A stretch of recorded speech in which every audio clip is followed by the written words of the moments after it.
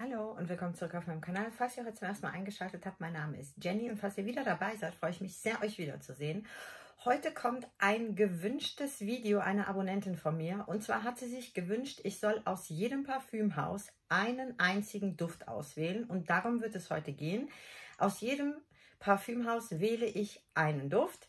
Wenn es euch interessiert, bleibt bitte gerne dran. Und wenn ihr noch nicht Teil unserer hier bestehenden kleinen Parfümfamilie seid, vielleicht überlegt es euch, abonniert meinen Kanal. Mich würde sehr freuen, euch hier zu begrüßen.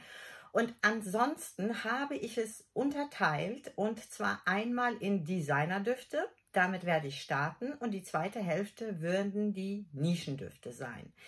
Das heißt, wer jetzt eher an den Designern interessiert ist, der sollte jetzt aufpassen.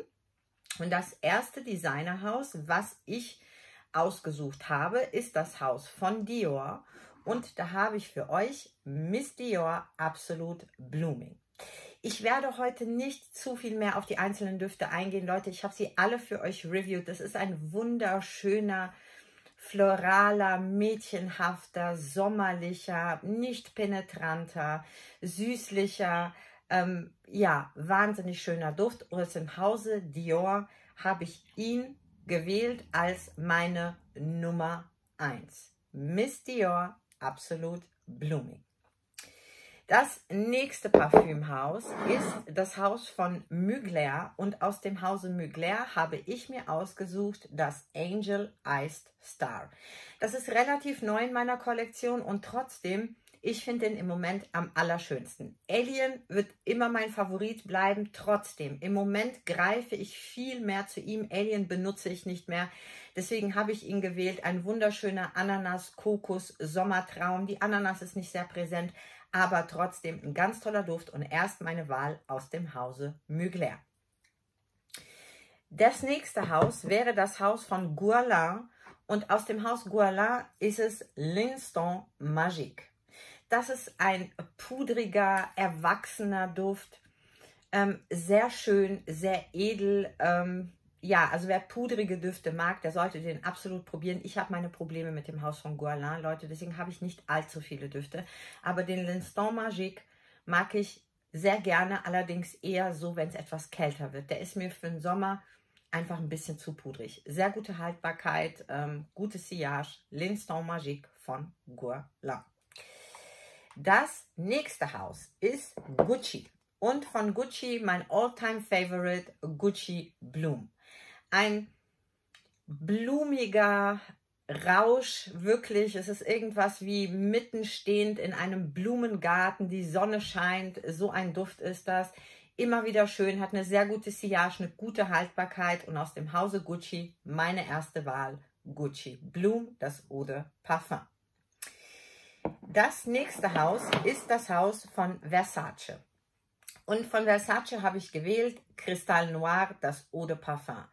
Das ist ein kühler, arroganter, düsterer, irgendwie, das gibt mir immer so den Vibe von einer Kirche, so dieses kühle, wirklich ähm, wahnsinnig sexy, toller Duft, Leute, hält den ganzen Tag, hat eine mega Sillage und aus dem Hause Versace war es ganz klar, das ist mein Top-Favorit, Cristal Noir, das Eau de Parfum. Aus dem Hause Carolina Herrera hätte ich für euch meine erste Wahl und das ist das Very Good Girl von Carolina Herrera. Das ist der neueste aus der Reihe und der ist einfach fruchtig, sexy, schön, sommerlich, hat eine gute Performance für einen Designerduft, finde ich. Es ist nicht wie das good girl, aber trotzdem erst da, erst präsent. Und für mich ist das so ein bisschen diese Sommervariante. Und wenn ihr floral fruchtig, wenn das so eure Ecke ist, probiert den aus. Der ist wunderschön. Meine erste Wahl, Very Good Girl von Carolina Herrera. Das nächste Parfümhaus wäre Lalique. Und von Lalique habe ich gewählt mein Soleil. Der Soleil ist ein Imagier, Leute. Das ist ein gute Laune Duft, der ist cremig, der ist leicht süßlich, der ist elegant, der geht das ganze Jahr über, der geht auch zu jeder Gelegenheit, ist eigentlich auch ein Signature Scent.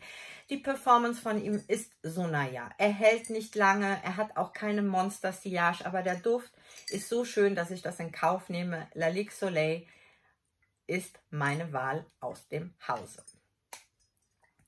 Das nächste ist aus dem Hause Etro und dank einer Abonnentin von mir habe ich dazu gelernt, denn Etro, Leute, ist kein Nischenduft.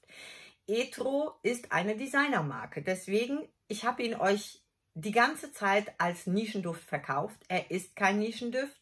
Liebe Lana, wenn du mir jetzt zuschaust, dank dir, du hast mich aufgeklärt, ist Etro definitiv ein Designer. Also der Vicolo Fiori von Etro ist ein Designerduft und aus dem Hause Etro für mich alles. Es ist Sonnencreme in einer Flasche, der ist cremig, der ist blumig, der ist einfach toll, hat eine super Performance. Es ist das Eau de Parfum und das ist meine Wahl aus dem Hause Etro. Der, das nächste Haus ist Giorgio Armani und mein liebster Giorgio Armani ist das Armani Si Fiori. Das ist für mich wirklich so ein rosa Wölkchen, weiblich, mädchenhaft, sehr süß, geht immer, hat eine minimale Pudrigkeit, bleibt aber sexy trotzdem und äh, für mich ein ganz besonderer Duft. Die Performance ist okay, es ist kein Biest, Leute, aber er bleibt ein paar Stunden. Ich sprühe ihn sehr gerne nach und er ist aus dem Hause Armani mein absoluter Top-Favorit, Armani Si Fiori. Und der vorletzte kommt aus dem Hause Tom Ford und der liebste aus dem Hause ist für mich Lost Cherry. Das ist eine sexy, dunkle Kirsche. Ähm, Gott, der ist so gut, Leute. Das ist eine süße, richtig dunkle, schwarze Kirsche. Sehr sexy. Ähm, für mich der beste und einzigartigste Kirschduft, den ich gerochen habe bisher. Er ist nicht vergleichbar mit irgendeinem anderen, deswegen liebe ich ihn. Die Performance ist leider nicht so gut. Er hält nicht gut, aber ich sprühe ihn nach, es ist mir egal. Tom Fords Lost Cherry, meine Wahl aus dem Hause Tom Ford. Und das letzte Haus wäre Narciso Rodriguez und meine Nummer 1 aus dem Haus ungeschlagen, Narciso For Her, das Eau de Toilette. Das ist mein liebster Imageer. Ich mag auch die anderen alle Leute. Eigentlich hätte ich sie alle wählen können, aber er ist der, zu dem ich wirklich am allermeisten greife. Der geht immer, der hat so einen leicht maskulinen Unterton. Das gibt ihm diese Edginess, Sexiness und das mag ich an ihm so, so, so gerne. Deswegen, er ist meine erste Wahl. Hat eine super Performance, Leute. Der hält den ganzen Tag eine super Sillage, Komplimentenmagnet hoch 100. Komplimentenmagnet hoch 100 und meine Wahl aus dem Hause Narciso Rodriguez. Das war es mit den Designerdüften, Leute. Und jetzt starten wir mit den Nischendüften. Und das erste Haus, was ich gewählt habe, ist von Serge Lutens und es ist Fleur d'Oranger. Ich habe hier einfach eine limitierte Flasche, das ist das ganz normale Fleur d'Oranger. Leute, das ist so ein toller Orangenblütenduft. Einer der natürlichsten Orangenblüten, die ich kenne. Und das verehre ich wirklich an ihm. Für mich ist es ein Meisterwerk für den Sommer. Der ist frisch, der ist wirklich so dieses, ihr riecht diese Bäume mit diesen Orangenblüten. Das ist der Wahnsinn. Also wenn ihr den noch nicht kennt und nicht probiert habt, probiert den aus.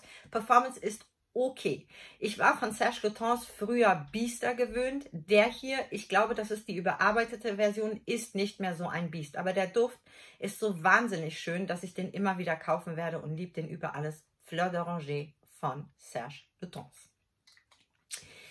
Die nächste, das nächste Parfümhaus ist Juliet Has a Gun und aus dem Haus habe ich am liebsten Lady Vengeance. Das ist so eine sexy Rose, ach, cremige, sexy Rose. Leute, der ist wahnsinnig, wahnsinnig sexy für mich. Wirklich. Also, ähm, der geht zu jeder Gelegenheit, der geht auch abends. Das Einzige, was mich an ihm etwas stört, er hält halt nicht lange. Er hat auch keine mega tolle Sillage, aber der riecht so toll. Der Geruch an sich ist so toll, dass ich den einfach aus dem Hause am liebsten mag, der immer in meiner Kollektion bleiben wird. Juliet Has a Gun, Lady Vengeance. Das nächste Parfümhaus ist Nasomato und aus dem Hause Nasomato habe ich gewählt Narcotic V. Für mich ist es ein Tuberosentraum und ein absoluter, wirklich ein Blast von Blüten. Das muss man mögen, der ist sehr penetrant, der ist wirklich da, der haut euch um beim ersten Sprüher, der ist wahnsinnig stark. Ähm, es ist ein Extrait Parfum und ähm, ich liebe den sehr. Aber ich habe Meinungen gehört von Leuten, die mögen den überhaupt nicht. Deswegen, Leute, kein Blindkauf, der ist teuer. Probiert ihn, aber die, die ihn mögen werden, die werden ihn lieben. Das ist ein absolut toller, auch sommertauglicher Duft. Der geht immer sehr sexy, betörend, ähm, immer da, Top Sillage, Top Haltbarkeit, Narcotic Venus von Naso Matu. Das nächste Haus ist das Haus von Montal. Und bei Montal, wenn es darum geht, mein allerliebsten, ist es Intense Tiare von Montal. Und das ist irgendwie so ein sehr underrateder Duft. Jeder redet über sehr viele Düfte von Montal. Intense Thierry kommt immer irgendwie zu kurz. Ich liebe den. Der ist tropisch, cremig, sommerlich. Der riecht für mich wie ein Karibikurlaub. Ähm, süß, floral, cremig. Leute, einfach nur mega toll. Probiert ihn aus. Die Thierry-Blume hier ist wirklich mega präsent. Für meine Nase ist einfach nur top. Meiner ist fast leer. Der wird auf jeden Fall nachgekauft. Meine Wahl aus dem Hause Montal.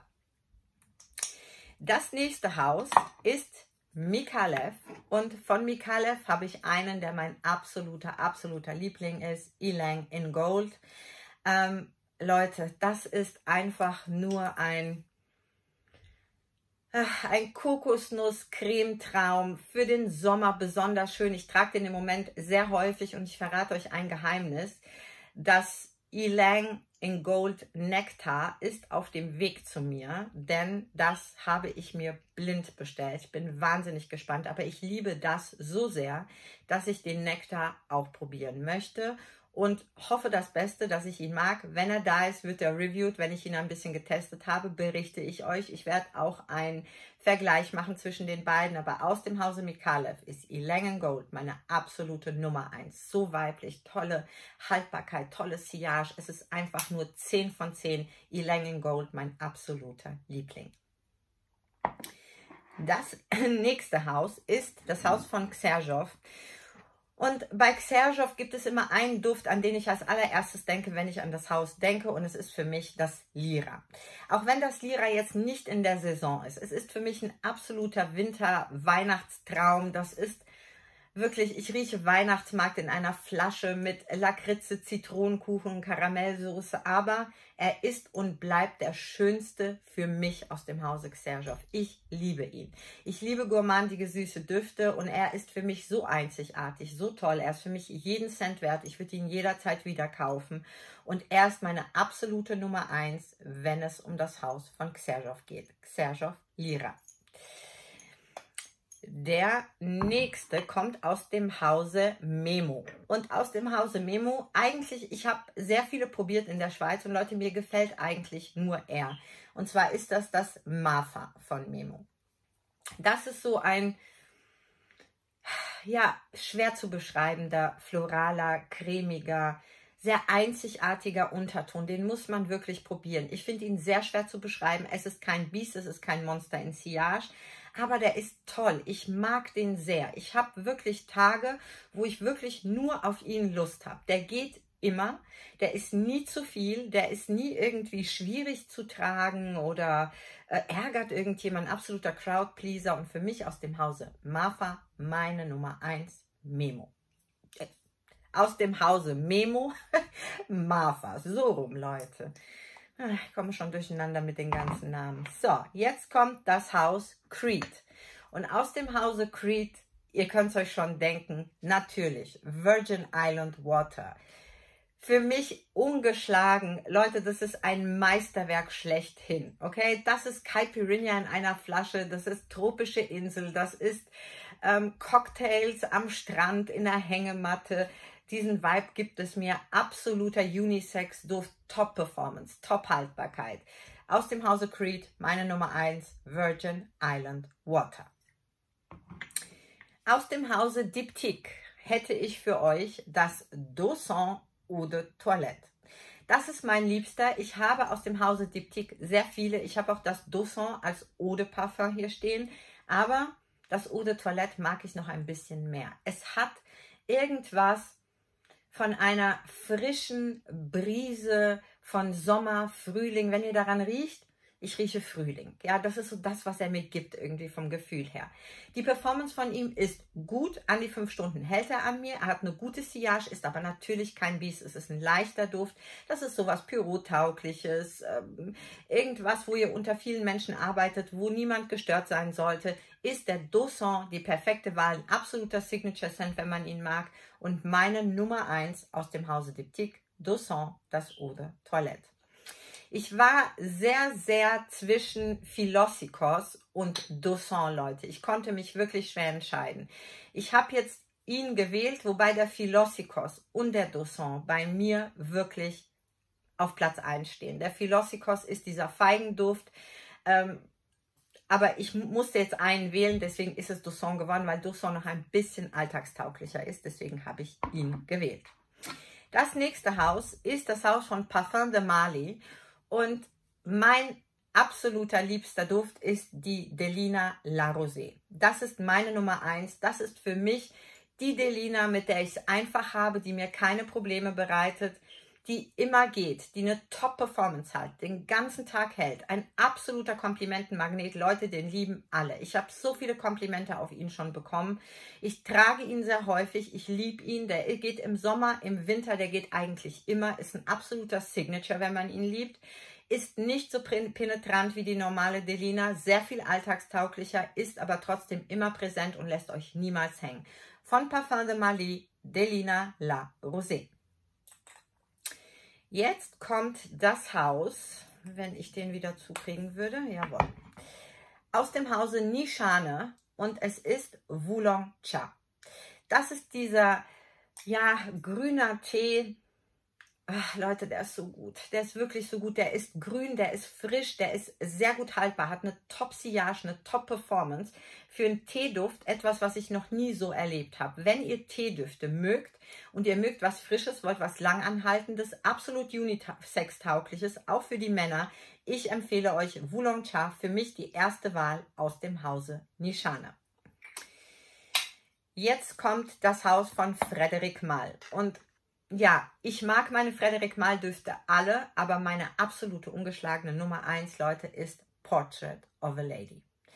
Portrait of a Lady von Dominique Rapion, Leute, das ist einfach nur ein Meisterwerk. Das ist nicht jetzt für den Sommer, das ist erwachsen, das ist etwas für geschulte Nasen. Niemals, niemals, Leute, ich möchte das hier ganz, ganz klar sagen, niemals ein Blindkauf. Kauft den nicht blind, probiert den aus. Ich glaube, entweder man liebt ihn oder man hasst ihn. Ich liebe ihn. Bei mir war das wirklich Liebe auf den ersten Riecher und es ist für mich das größte Meisterwerk, was je erschaffen worden ist. Deswegen aus dem Hause Frederick Mahl Portrait of a Lady. Und das nächste Haus ist Haus von Amouage. Und meine allergrößte Nummer eins, den ich am meisten und wirklich immer wieder so gerne benutze, ist Blossom Love. Das ist wirklich ein Body Shop, ein Lush Store, diese Wolke, die euch entgegenkommt, wenn ihr das betretet. Ähm, da ist Amaretto drin, da ist Kirschlikör drin. Ähm, der riecht einfach nur wunder, wunderschön. Wenn ihr diese Gerüche mögt, wenn ihr in so einen Bodyshop reinkommt oder einen Lush Store und wenn ihr das gerne schnüffelt, dann ist das euer Duft. Der hält den ganzen Tag, der hält sogar über Tage. Die Haltbarkeit ist über, über, überdurchschnittlich. Monster Sillage, jeder fragt mich nach dem Duft, wenn ich den trage. Ähm, ich glaube, der ist auch überhaupt nicht so gehypt, wie er eigentlich gehypt sein sollte. Der, einer der besten und mein allerliebster aus dem Hause Amouage Blossom Love. Jetzt kommt das Haus von Tiziana Terenzi und von Tiziana Terenzi habe ich gewählt mein Kirke. Leute, mit dem Kirke ist das so eine Sache. Ich will das ganz kurz hier ansprechen. Ich möchte nur nicht, dass das Video zu lang wird. Leider ist es so, Kirke ist jetzt auch so eine Modeerscheinung geworden. Als ich den hatte, hatte den noch keiner. Der war nicht berühmt, keiner kannte ihn und äh, für mich war er was ganz Besonderes. Mittlerweile rieche ich es an jedem Zweiten. Jeder Zweite hat das drauf und so langsam bekomme ich das Gefühl, es ist nichts Besonderes mehr. Ich liebe aber den Duft. Er ist mein Liebster aus dem Hause Tiziana Terenzi mit Abstand.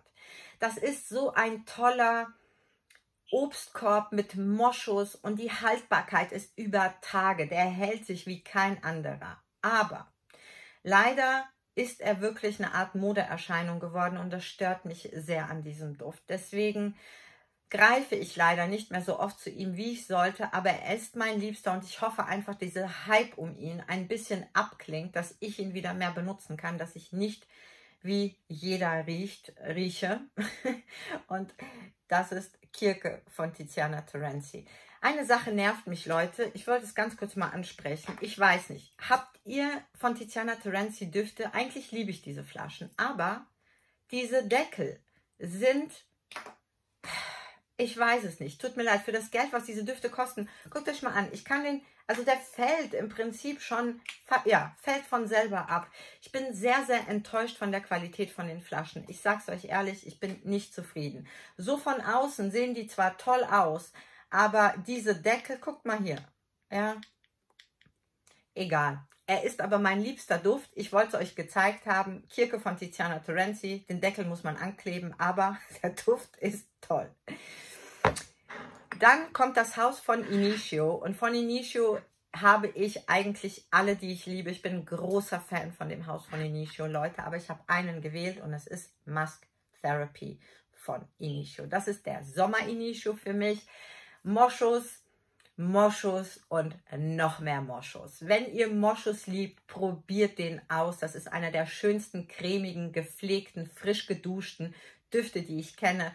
Top Sillage, Top Haltbarkeit, ein entspannender Crowd Pleaser. Keiner wird sich gestört fühlen. Den könnt ihr überall immer tragen. Der ist sogar was für abends, wenn ihr einfach nur gepflegt sein wollt. Mega Duft, Leute. Musk Therapy, meine Nummer 1 aus dem Hause von Initio.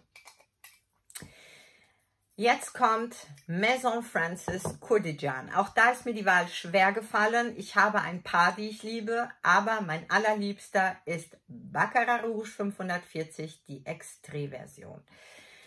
Diese bitter-orange, diese wahnsinnig tolle Süße, die einen ummantelt, der ist edel, der ist königlich, der Ach, das ist so, als würdet ihr euch Gold aufsprühen. Unisex tauglich, obwohl ich finde, er lehnt ein bisschen mehr zur weiblichen Seite, aber Leute, der riecht teuer. Der riecht einfach so teuer, dass wenn ich mir den aufsprühe, fühle ich mich direkt besser. Ja, ähm, bin ich natürlich nicht, aber ich fühle mich so und ich habe einen ganz anderen Gang drauf. Ich benehme mich ganz anders. Der gibt mir so dieses Gefühl. Baccarat Rouge 540, Maison Francis Cordijan, die Extré-Version. Meine Nummer 1 aus dem Hause. Und aus meinem Lieblingsparfümhaus, ihr wisst es, ich habe eine Unmenge von Düften aus dem Hause von Byredo. Und ich habe einen gewählt, weil ich habe ihn gewählt, eher, weil er für mich der außergewöhnlichste aus dem Haus ist. Er ist einfach ein Unikum, finde ich, und es ist Pulp von Byredo. Leute, das ist für mich sowas, ich weiß nicht, irgendwie sowas nicht von dieser Welt. Ja, der ist sehr fruchtig. Das ist wirklich etwas für fruchtige Liebhaber. Und ich denke, der ist nicht was für jeden. Niemals ein Blindkauf. Aber ich finde den so toll. Der hat eine super Haltbarkeit, der hat eine gute Sillage, der ist auch so leicht säuerlich. Und ich glaube, dieses Saure, was er hat, ist nicht was für jeden. Er ist süß und gleichzeitig sauer. Und das ist für mich irgendwie das habe ich in keinem anderen Duft erlebt. Und deswegen, ich stand vor dem Byredo-Regal bei mir und habe wirklich lange überlegt, welchen ich wähle. Ich wollte erst La Tulipe wählen, weil das ist mein meistgenutzter Duft.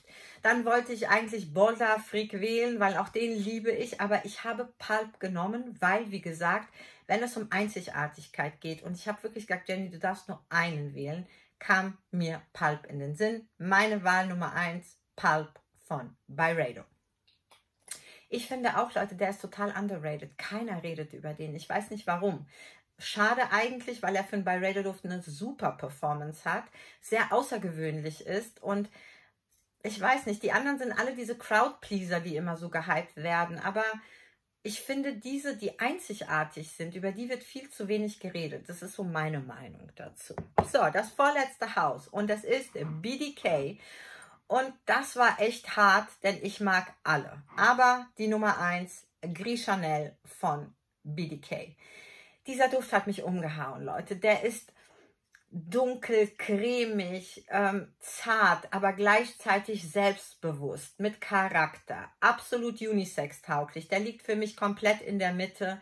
Ähm, Der gibt mir auch so einen Hauch Selbstbewusstsein, aber ohne zu viel zu sein. Top-Haltbarkeit, Top-Sillage. Komplimentenmagnet. Immer wenn ich den trage, fragt mich irgendjemand, was ich drauf habe. Der ist der absolute Wahnsinn und meine erste Wahl aus dem Hause BDK Gris Chanel. Wenn ihr den noch nicht probiert habt, Leute, und ihr mögt feige, cremig, probiert den aus mit Kardamom. Der ist der absolute Wahnsinn. Und das letzte Parfümhaus ist mein liebstes Parfümhaus und es ist bei Kilian. Oh Mann, das ist mir echt schwer gefallen, denn mittlerweile ist, sind es zwei Düfte, die komplett bei mir auf einer Stufe stehen. Ich habe aber den gewählt, ohne den ich wirklich gar nicht sein will und es ist Good Girls Gone Bad von Kilian, aber Love Don't Be Shy, Leute, wäre normalerweise auch hier mit drin, denn ich mag beide gleich gerne. Aber das hier ist sowas wie mein Signature Scent. Der ist edel, der ist wirklich ladylike. Der geht immer. Das ist wirklich ein absoluter Signature, wenn man ihn mag. Der ist sehr sexy. Ähm, wirklich präsent, da, nicht penetrant. Ähm, aber ihr werdet auffallen auf eine sehr elegante, luxuriöse Art und Weise. Ähm, er macht mich glücklich. Der macht mich wirklich glücklich und meine absolute Nummer eins aus dem Hause bei Kilian, Good Girl, Gone Bad. Leute, ich hoffe, es war nicht zu viel und ihr hattet ein bisschen Spaß. Schreibt mir doch einfach mal in die Kommentare vielleicht, welche eure Düfte sind aus den Häusern, die eure Lieblinge sind. Mich würde alles gerne, ich würde alles gerne lesen. Mich interessiert immer alles, egal ob Designer oder Nische, was auch immer euer Ding mehr ist. Ich lese alles gerne. Ansonsten, ich wünsche euch noch einen schönen Tag und hoffe, wir sehen uns bald wieder in einer meiner nächsten Videos. Bis dahin. Tschüss.